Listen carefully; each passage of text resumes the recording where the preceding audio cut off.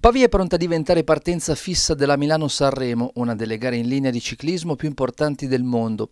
L'annuncio del sindaco Fracassi a margine della presentazione dell'evento, che per la sua 115esima edizione ha scelto proprio Pavia come base di partenza il prossimo 16 marzo. Per quanto ci riguarda noi vorremmo che rimanesse stabile come punto di partenza. Milano ormai ha deciso di puntare probabilmente su altre cose, è legittimo quello che possono fare, quando ci è stata data l'opportunità con loro abbiamo già detto che per quanto riguarda noi possiamo andare avanti all'infinito, rimarrà sempre la Milano-Sanremo perché non si possono cambiare i nominativi ma la partenza è sempre ok per quanto riguarda la Pavia. I dissidi con il sindaco Sala avevano allontanato già lo scorso anno la partenza di questa classica da Milano.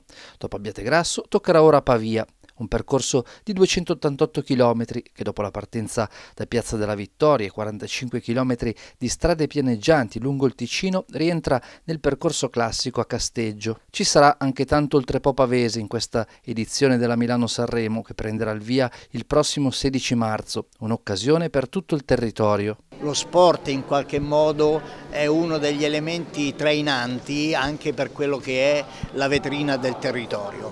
Vetrina del territorio che significa tutti i suoi aspetti, da quello paesaggistico a quello culturale, a quello architettonico e soprattutto anche a quello eh, diciamo enogastronomico. No? Quindi attraverso, questo, attraverso, lo sport si può in qualche modo eh, cercare di eh, far crescere quello che è l'attività economica di questa città. Non sono mancati durante la conferenza stampa di presentazione i riferimenti agli atleti con Milano. Il ciclismo sembra essere off limits per la città.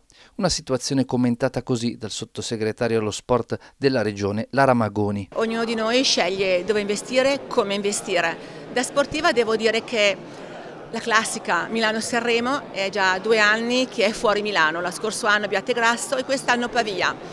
Essendo una sportiva mi piace guardare il bicchiere mezzo pieno e quindi applaudo a Pavia e alla sua provincia. E su Milano speriamo che si ravveda.